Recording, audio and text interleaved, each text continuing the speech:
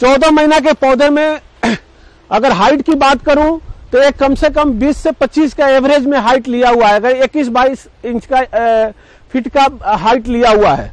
अगर गर्थ की बात करूँ तो सारे के सारे गर्थ अगर हम मैं अगर रूट की गर्थ की बात करूँ तो ऑलमोस्ट थोड़ा सा कम ज़्यादा एक फीट का चीज़ें हुआ पड़ा है और आठ नौ इंच का इसका डीबीएच भी हुआ पड़ा है। अगर यहाँ से चीज़ें हम मापेंगे तो।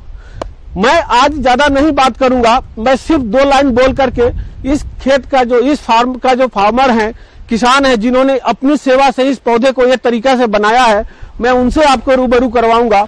लेकिन सबसे पहले मैं ये बताना चाहता हूँ कि जैसे मैं कहता हूँ कि एक कमर्शियल फ़ार्मिंग है। जब कमर्शियल फ़ार्मिंग होता है तो आपके पैसे खर्च होते हैं। जब पैसा खर्च होता है तो इन्वेस्टमेंट और एक्सपेंसेज में अंतर करना हमें सीखना पड़ेगा। जब तक आप इसको एक्सपेंसिव समझेंगे, आपका रिटर्न इससे कहीं नहीं आएगा।